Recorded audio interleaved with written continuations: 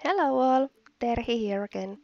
I'm playing with Hip Kit Club October Kits again and I'm really excited about this layout because it includes one of my favorite background um, techniques. I'm collecting few mists in red and yellow scheme.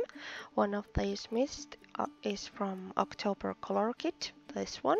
It's from Shimmerz I don't remember the shade's name, but you will find it from Hip Kit Club website, hipkitclub.net. So um, I covered the whole page with clear gesso to make sure that the surface is uh, good for water and other wet medias and then I'm just adding mist drops and water and mist drops and water like thousands of times.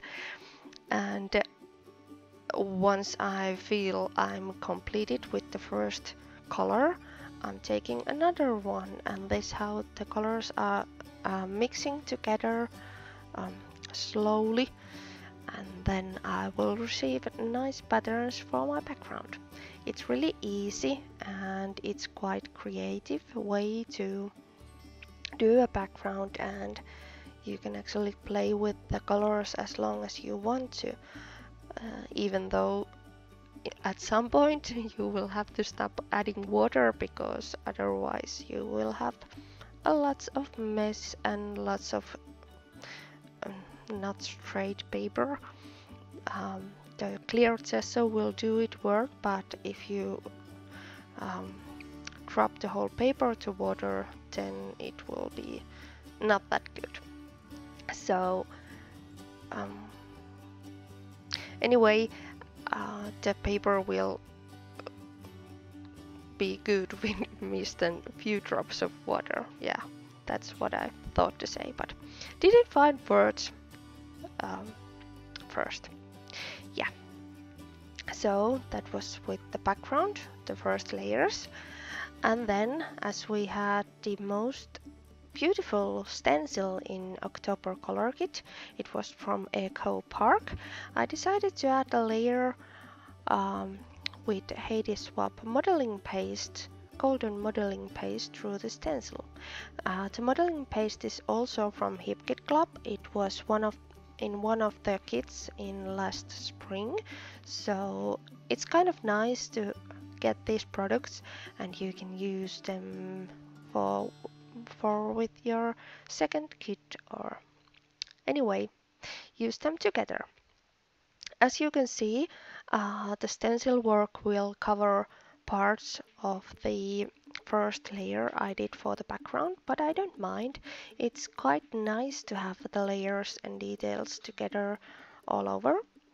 Uh, I also did some kind of paper cluster before using the papers from October main kit um, and did some cutting with Big Shot to make some nice lace um, edges using the cardstock kit. Yeah, there were nice color uh, colored cardstocks in October cardstock kit, so I decided to make something with them too. Because I don't use them for my backgrounds, as you see, always doing white, but can't help with that. I did that one black few weeks ago and I'm still really proud of myself.